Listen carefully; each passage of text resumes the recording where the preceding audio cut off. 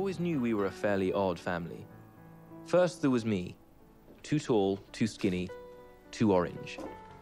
My mum was lovely, but not like other mums. There was something solid about her, something rectangular, busy, and unsentimental. Her fashion icon was the Queen. Dad, well, he was more normal. He always seemed to have time on his hands. After giving up teaching university students on his 50th birthday, he was eternally available for a leisurely chat or to let me win at table tennis. And then there was Mum's brother, Uncle Desmond. Always impeccably dressed, he spent the days just, uh, well, being Uncle Desmond. He was the most charming and least clever man you could ever meet. His mind was on other things, though we never found out what. And then finally, there was Catherine, Katie, Kit Kat, my sister. In a household of sensible jackets and haircuts, there was this, what can I call her? Nature thing. With her elfin eyes, her purple t shirts, and her eternally bare feet.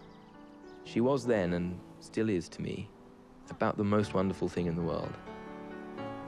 All in all, it was a pretty good childhood, full of repeated rhythms and patterns.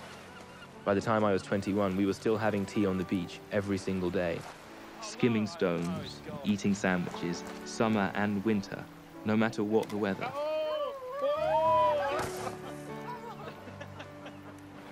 And every Friday evening, a film, no matter what the weather. And then, once a year, the dreaded New Year's Eve party.